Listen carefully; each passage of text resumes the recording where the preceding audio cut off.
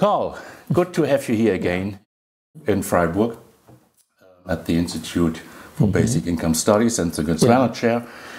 We wanted to talk about the ethic and mm -hmm. the non-conditional universal basic yeah. income. To start, why is this basic income given to everybody? Because we should ask the least of the people who get the least. If we're going to create a society where some people have a lot and there are a bunch of different rules that affect people in different ways and give people advantages and disadvantages, we should make sure the people at the very bottom, the people have no, the people who have nothing else but their basic income, get enough that they can live on decently. And then uh, if they do something that the society recognizes as useful, they can get more. But even if they do nothing at all that everybody recognizes useful because we've made a society where they're the ones who have least, we should make sure they can live. And that is the same for everybody, for the rich, yeah. the poor, the ugly and the nice, the annoying yes. and mm. okay. Yes. That is one point of ethics. Mm -hmm. Yes. Let's just link a second one. Okay. Usually you have to do something in exchange mm -hmm. of getting a payment, getting an income, getting money, getting the right to live. So we are used to living in an understanding of to, to, to give, to, to get. Mm -hmm. And that is no longer the case with non-conditional basic income. Why is it? What does it mean? Well, actually, we might be used to this idea, um, but we actually haven't established this idea. Um, when the property rights system was created, the kings and the governments of the European powers and the North American powers went around uh, taking the resources of the earth and giving them to the very privileged people uh, who already had a lot, uh, who were already friends of the king, and they didn't do anything for them. They took all the resources and they said, Oh, you, then you, all the other people, all the masses of people throughout Europe and throughout all the other continents of the world, you have to work for these people to get something. You can't get something unless you work for it. But actually, uh, that's not how property works. If you own a lot of property, you don't have to work for it. Uh, so actually, um, basic income is the farthest thing. It's the farthest thing from something for nothing because you've all, the, the underprivileged people of the world has, have already done something for it. They've had rules imposed on them that give other people privileges and put them at the bottom. We're paying them for that. Everyone deserves it because the resources of the earth have been given to other people. That gives the answer already to a next question, which is often asked is that money for nothing? Is it just for nothing? And uh, no, of course not. It's it's it's it's you don't have to do anything. But we've already done something. When people say basic income is something for nothing, they ignore the fact that we've already that the underprivileged of the world have already done something for us. They, they've, we, they've, we've imposed rules on them and give them no choice. Uh, and we've imposed a system where other people get more and they get less. That's it's not something for nothing, it's something in exchange for all these rules that have been imposed on you. We all disagree about what the rules should be, what the rules should be. And, and somebody's opinion is going to prevail. But if somebody's going to opinion is going to prevail, prevail when all these other people have reasonable ideas, then these people who get to do things their way and get to have more need to do something for everyone else. Uh, and that is to pay them enough so they can live unconditionally. Right. And finally, it is not for nothing but to receive what others have done for you mm -hmm. to receive th those things that are created in our society for each other to live from. So, Karl, but wouldn't it be better to offer everybody a job, fair jobs, good jobs, paid work, I mean, wouldn't that be better for a fair society? Everybody contributes to the society in a paid job. Yeah. Well, there are, there are two reasons I, I don't think you can really do that. Uh, one is, how are you going to make the rich work? Uh, the rich have all this money already. Uh, unless you take all that money away from them, they don't really have to work. They can live off the returns to the, the capital that they own. So when people say everyone work, they really mean everybody except the rich. And that's not a society. If, if, if one person has the, has the choice of whether to work or not, then everyone should have that choice. But another reason that you should, uh, well, I, I guess I give you three reasons why I shouldn't do it. A second reason why people should, shouldn't be asked to do it um, is that it's cruel. The things that you have to do to enforce that is that you have to be really cruel to the people who don't do it. What if somebody doesn't do it? You want the society where everyone prospers and everyone contributes and everyone. What do you do to that person who doesn't do it?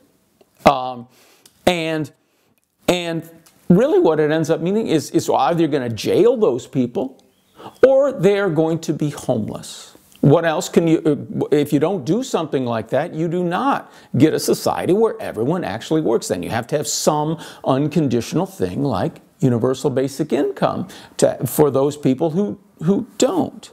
Um, and then a third reason is that you're always going to get it wrong. It's never going to be as fair as you think it is. Those decision makers up on high with their good jobs are going to say, oh, yes, this is a fair wage, and this is a fair. This is a fair working condition for those, those other people. I've never done a job like that, but that's what I think is fair. And they always will they will always make mistakes in their own favor. Whereas if they give those people a basic income and say, yes, I want everybody to contribute, so I'm going to make it worth your while to contribute. I will give you such good wages and good working conditions that you'll want to contribute, then we, the decision makers, are disciplining ourselves to be kind to other people, that we must ask for their contribution, not demand and force them to give a contribution.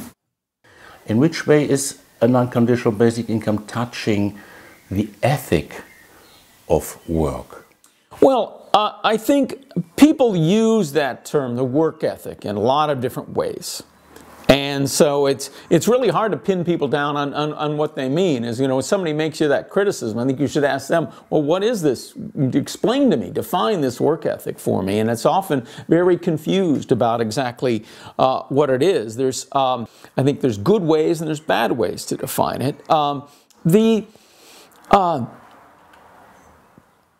uh, I think the, the good way to think about the work ethic is that if you work you will get ahead. Hard work pays off. We, we, need, um, we want a society where people who have initiative and do things and work hard, um, they will get ahead, and that's, uh, that's certainly true if you're, if you're working by yourself or you're working in groups. Uh, work is a, is a good way to get ahead, and we want people to learn that working is a good way to get ahead. That, I think, is a good thing.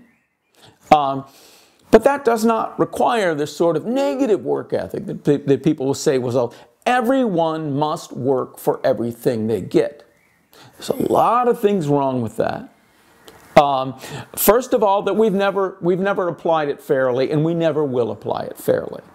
Um, the, um, the wealthy, as, as, as I've been saying, the wealthy do not have to work for what they get. And other privilege, they can if they, they can work for more, but if you are wealthy, your money works for you. You do not have to work for your money. You put the money in an investment. You don't even have to decide what investments. You go, you can hire somebody to decide what investment it goes in, and you get the big share because it's your money, not because you did the work to decide what investments it goes investments it goes into.